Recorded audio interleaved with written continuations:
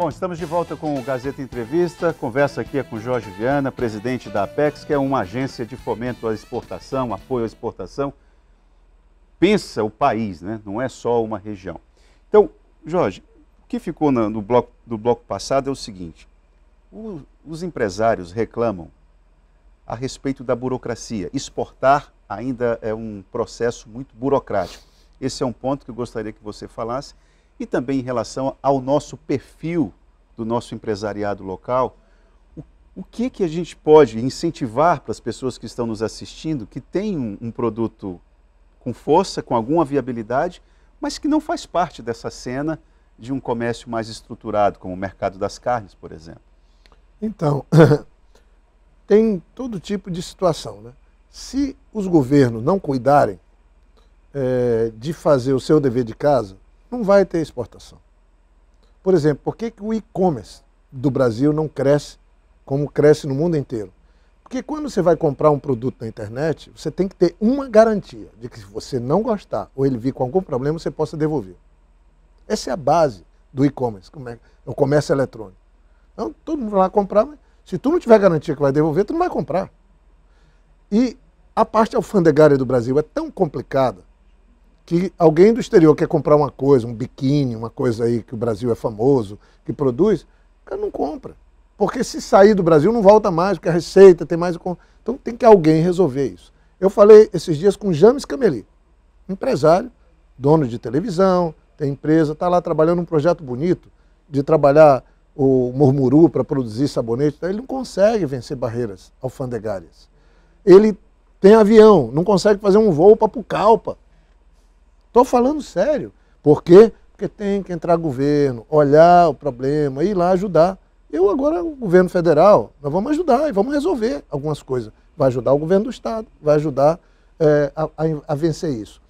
A exportação pode ser, agrega valor. O Brasil fez uma opção muito ruim nos últimos anos. O Brasil, desses 334 bilhões de dólares exportados ano passado, do Brasil, que parece muito, mas não é tanta coisa assim. O que é que tem em primeiro lugar? Soja in natura para a China, sem processamento. alimentar porco, inclusive. É, você tem minério de ferro, também in natura para a China. Tudo é China. Mais de 50% é China. Aí você tem óleo de petróleo, aí depois você tem lá embaixo carne. Tudo que nós temos são commodities, são produtos que não agregam valor que não são processados, que não são industrializados e que não geram emprego. Ah, é bom exportar isso? Claro que tem que seguir exportando isso. Mas você tem que trabalhar produtos que possam gerar emprego, que possam agregar valor. Por isso que Taiwan exporta mais que o Brasil. Porque tudo que é celular nosso tem um pouco de Taiwan dentro. Aí cobra muito dinheiro. A Amazônia, o norte e o nordeste, eu acho que tem um potencial extraordinário, principalmente a Amazônia. Eu falo isso há 30 anos. Mas quem sabe que agora que chegou a hora? Agora que tem barrinha de cereal, que todo mundo come castanha o ano inteiro. E castanha é um produto que o Acre tem muito forte para mandar para fora. Mas artesanato, sabe? Mas não pode ser um artesanato daquele que não está qualificado para o mercado. Tem que ter um padrão de produção, de qualidade, de design. Escala, né? De design. Não, pode ser até pouca coisa. Ah, Isso é, é igual vinho. Às vezes o cara vai produzir lá um vinho na Itália, 100 garrafas ele escolhe até o valor que ele quer para isso. O artesanato, se for bem feito, nós temos coisas produzidas no Acre já de qualidade. Então, quem sabe a gente juntando com o Sebrae, juntando com as organizações dos produtores, essa economia criativa, ela é muito importante. Você perguntou, eu digo, a parte de startups tem que ser, o Sebrae já faz um trabalho, nós vamos jogar pesado nisso também, nesse programa PIX. Porque aí um jovem que, que resolve fazer até um serviço, se o Acre começar a exportar, alguém montou uma empresinha de dar assistência para quem exporta, que fez um curso. Então, agora é muito importante. Não dá para a gente dizer, nós moramos na fronteira com dois países, nós temos um mercado de 35 milhões de pessoas num raio de mil quilômetros de Rio Branco e a gente não trabalha isso. Sempre pensei estrategicamente assim. Eu acho que com o governo do presidente Lula nós vamos poder ajudar o Acre. É, eu estou indo lá no, fazer contato com as autoridades do Estado, porque a gente tem que trabalhar e criar uma sinergia, né? Eu, eu acho que a gente a eleição passou, acabou, pelo menos do ponto de vista do trabalho, política, na hora certa a gente vai fazer. Ah. Mas eu estou muito animado que vai dar para uma espécie de ajudar o meu estado, ajudar a minha terra, ajudar o povo acriano nessa fase agora do, do terceiro governo do presidente Lula. Estou muito animado mesmo. Bom, e você está com uma, uma agenda para a Argentina, com o presidente Lula. Né? Foi um mercado também ignorado, praticamente fecharam-se as portas, né, no governo É, passado. é essas coisas que o pessoal não sabe, o prejuízo que dá um mau governo. Um mau governo sai caro para o povo. Porque a Argentina era o terceiro parceiro comercial do Brasil. O saldo comercial favorável ao Brasil era enorme, agora é deficitário e é só a metade do que era. Por quê? Por causa de birra, porque não gosta do presidente Fernandes. O presidente não tem negócio de gostar. Tem que ver onde é melhor. Os chineses lá são brigados com Taiwan, mas tem 800 voos entre os inimigos. Eu falei é, negócios à parte, porque nos negócios eles avançam muito. Aí, aqui, eh, vai ter essa viagem do presidente Lula. Ele vai, por exemplo, restabelecer a CELAC. A CELAC é uma organização que envolve o Caribe, os países da América Latina. Estava desativada. Só quem ganha com a reativação é o Brasil. Então o Brasil fechou, as- deu as costas para os vizinhos, não olhou para a África, que tem a ver com a nossa origem. Os chineses estão lá na África. Todos os investimentos lá, o grosso são chineses, em vez de ser uma parceria do Brasil. E a Apex também, volto a repetir, a Apex cuida de trazer investimentos para o Brasil e cuida também de fazer eh, a valorização e fazer os, os produtos brasileiros ganharem mercado. Mas nas viagens presidenciais, quem ajuda a coordenar o encontro entre empresários brasileiros e empresários do país É a visitado é a Apex. Agora mesmo nós estamos organizando, eu estou aqui, mas estamos no telefone, a nossa diretora Ana Paula está, eu, eu pedi para ela coordenar isso, Está aqui no Acre também, né? ela está aqui no Acre, veio, e ela está coordenando. Nós vamos ter quase 20 setores brasileiros num encontro dentro da Casa Rosada, que também com o vice-presidente Geraldo Alckmin, com quem eu, eu trabalho, que é o nosso ministro da Indústria, Comércio e Serviços, porque eu fui nomeado pelo presidente Lula para esse cargo. É um cargo importante, que tem um um poder de trabalho, um, um espaço de trabalho muito bacana. Estou muito satisfeito. Mas e a minha relação é com o vice-presidente também. Então está tá indo muito bem isso. E as viagens, essa agora da Argentina e a dos Estados Unidos, a Apex está dentro, organizando empresários para as rodadas de negócios do lado brasileiro, com uma contraparte americana, no caso. E da Argentina já está bem desenhado. Eu devo acompanhar o presidente Lula nessa viagem. A provocação aqui, uma boa provocação aqui do telespectador. Por que não fizeram esta exportação ou esse, esse cenário quando o PT estava no comando do poder no Brasil? Aí nós fizemos. Vou repetir, com todo respeito à pergunta. Eu acabei de falar aqui que quando o presidente Lula assumiu a presidência da República, o fluxo de comércio exterior do Brasil era de 100 bilhões de dólares, entre importação e exportação. Quando ele entregou, era de 400 bilhões de dólares. Agora está em 600. Depois de 12 anos, cresceu pouco nessas brigas, nessas crises. E, lamentavelmente, eu tenho que dizer, lamentavelmente, todo mundo sabe que a imagem do Brasil hoje é péssima lá fora. Por que, que não tem um acordo Mercosul com a União Europeia? Porque estava invadindo a área indígena, estava destruindo o meio ambiente. E aí a União Europeia falou: não quero acordo. Um acordo desse vai fazer o empresariado vender mais carne, né? vai fazer o pessoal da soja vender mais soja, vai fazer a, a indústria de calçados vender mais calçado para a Europa. A Europa tem quase 500 milhões de pessoas. É lamentável essa ideia. Sabe? No governo do presidente Lula, o Brasil prosperou. Sabe aqueles 350 bilhões que estão nas reservas internacionais? Todo ele foi colocado lá pelo saldo comercial do Brasil na época do governo do presidente Lula. Aqui no Acre mesmo, a gente exportava 20 milhões de dólares quando eu era governador. Depois foi lá para baixo, agora subiu de novo, está indo bem, já está em 40, quase 50. Ótimo, vamos transformar isso em 250. Olha só aqui, o, o que, o que o Romeu, Romeu Rony está dizendo aqui, ó. Você ver como é difícil a gente apreender essa ideia de que exportar é viável. Ele está perguntando, o que muda com a exportação? Isso foi feito na era PT? O que mudou na economia e na geração de emprego? Muito bonito as palavras e tal. Favorece o povo, ele pergunta, ou só os empresários? E não gera, e isso não gera em si emprego? O que muda com este projeto? E aí eu, eu lembro aqui, pergunta- aproveitando a pergunta do Romeu, você vai ter um encontro com os empresários no final da tarde de Cinco hoje, horas. não é? Quais são os pontos de agenda que você destacaria? Não, é, então, primeiro assim, eu acho que tem que ter uma desideologização. Sabe? Está tudo ideologizado, um monte de gente se metendo em política. Isso é ruim para um país. O Brasil atrasou quatro anos Está saindo caro esses quatro anos de conflito que a gente teve. O presidente Lula quer trabalhar. E vai trabalhar e vai dar um show.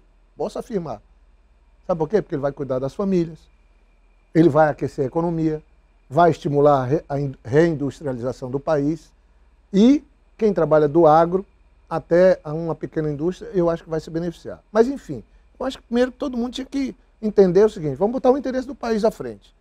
Eu não tenho nenhuma dúvida que o Brasil está muito aquém do que deveria estar, porque paralisou, volto a repetir. Nos últimos quatro anos nós tivemos problema. O governo brasileiro demorou quase 40 dias para reconhecer o presidente Biden os Estados Unidos é o maior parceiro comercial de qualquer país do mundo. Aí ficou fazendo piada com os chineses, que é o maior parceiro comercial do Brasil. Isso não se faz. Cada um tem sua ideologia, tem suas ideias, tudo bem. Agora, quando a gente assume um cargo, quando a gente assume um governo num país, em primeiro lugar, o país, o povo daquele país. É isso, simples assim. Então, eu acho que o presidente Lula vai fazer isso. Ele vai, de novo, andar o mundo inteiro, e eu vou estar perto, botando os produtos do Brasil lá fora. Foi isso que fez. O saldo comercial de oito anos do governo do presidente Fernando Henrique, que é uma pessoa que eu gosto muito, foi de 30 bilhões de dólares. O do presidente Lula foi de 350 bilhões de dólares. Vou repetir. 30 bilhões no governo Fernando Henrique, o saldo comercial, de oito anos. E oito anos do presidente Lula, o saldo foi de 350 bilhões de dólares. O ano passado, o saldo foi 62.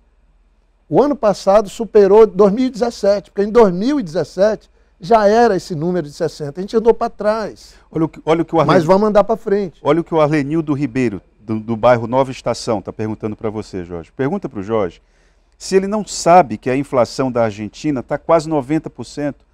Pergunta a ele, como faz parceria com um país que está quebrado? Arlenildo Ribeiro. Olha, com inflação ou sem inflação, o país precisa andar precisa ter comida, precisa ter indústria. A maior exportação do Brasil, o país que o Brasil mais exporta produtos industrializados é para a Argentina. Então a desinformação é muito ruim, porque exporta carro para a Argentina. Carro, autopeças, peças de, de, de componente de carro, é, é o carro-chefe das exportações do Brasil. O, inclusive, numa crise dessa, eu não estou aqui tirando o benefício de uma crise da Argentina. Mas quando você tem um país com a moeda muito desvalorizada. Melhor para nós, né? Melhor para nós. O então, tem ganhos. Agora, você perguntou qual é o ganho, na outra pergunta, também é para um país que exporta. Um país que exporta. Porque para botar um produto no mundo, a concorrência é muito grande, são mais de 200 países concorrendo. Aí você tem que ter um produto qualificado, um produto bem feito, acabado. Para você ter um produto qualificado, bem feito, arrumado, que concorra, você tem que ter bons servidores, bons trabalhadores, bons empregos, bom salário para poder ter um produto. Ninguém faz assim as coisas de qualquer jeito, pagando mal. Né? Então, isso ajuda um país que é grande exportador, ou uma região que é grande exportadora, ela termina melhorando a vida das pessoas, porque remunera melhor, dá melhor trato, porque hoje o mercado internacional quer saber se um produto que é colocado no mundo, se ele, se ele vem de desmatamento, de destruição, trabalho se escravo. ele vem de trabalho escravo, de exploração. Se não cuidar disso, que é o ESG, que a gente chama, tem que ter uma boa governança, tem que ter um, uma preocupação socioambiental. Todas as empresas do mundo querem ter esse selo. Nós vamos trabalhar para que, eu vou trabalhar na Apex, ajudar para que tudo que é produto, uma das marcas que saia do Brasil, seja sustentável. Nós vamos incorporar esse conceito na Apex, de enfrentar a mudança climática para valorizar mais os nossos produtos, para eles serem mais competitivos. Por falar exterior. em nossos produtos, o José Maia estava pedindo para que você coloque aí na sua agenda o açaí. O açaí parece que teve uma aceitação global, eu diria, não sei, não sei se exagero, mas ele teve uma capilaridade impressionante, o açaí. E o, o Pará parece que sai na frente nesse debate. Né? Pois é, o Pará leva até o nome da castanha do Pará, que não é do Pará, é do Brasil, e o Acre é o maior produtor, mas olha, açaí e polpas de fruta. A Cooperac trabalha com 10, 10 tipos de frutas diferentes. Está construindo uma indústria aqui em Rio Branco para investindo 20 milhões com recurso próprio. Você sabe o que é isso? Eles vão precisar plantar 400 hectares de acerola para poder atender uma das 10 frutas da Cooperac. a rentabilidade altíssima. Então, assim, primeiro que eu não vou ficar aí no, no pessimismo nada. Lá atrás nós fizemos muita coisa, agora não estão fazendo, vamos fazer. Vamos juntar empresário, juntar os governos que queiram, trabalhar junto e fazer esse país andar para frente. Simples assim. Sabe, eu estou nessa, estou é, bem focado nisso, é uma área que eu adoro, eu gosto disso, sempre pensei assim, é, de, de, fazer com que o, o Acre virasse um, também uma importância. Então, a região norte, por exemplo, dos 342 334 bilhões exportados ano passado, vou quanto, repetir. Quanto que o norte Dos deu? 334 bilhões exportados ano passado, 28 bilhões veio da região norte. 28 bilhões de 334 dá menos de 10%. Mas tem um problema. O problema é que dos 28 bilhões que o norte exportou, 21 foram a Vale do Rio Doce lá no Pará. Nossa. Se eu tirar os 21 bilhões, vão ficar só 7. Então todos os estados da região norte exportaram 7 bilhões de 334. Dá quanto? 2%. Agora, a Amazônia não é a região mais falada, a Amazônia não é a região mais famosa, a Amazônia não é mais rica, a Amazônia tem 28 milhões de pessoas na Amazônia. Então eu vou trabalhar isso, as cadeias produtivas da Amazônia, mas não focada num produto, mas em vários. Se nós fizermos isso, a exportação pode passar de 50 daqui a algum tempo.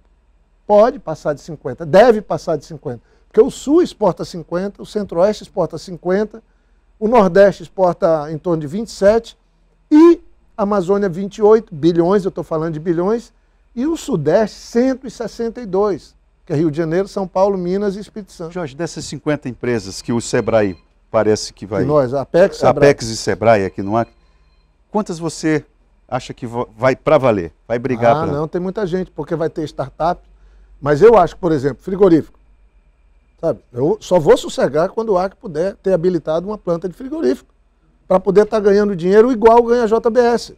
Para isso poder significar uma melhor remuneração para o pecuarista. Por que não? Eu só vou sossegar, porque em vez de a gente plantar 7 mil, é, 7 mil hectares de soja, a gente plantar 30, 40.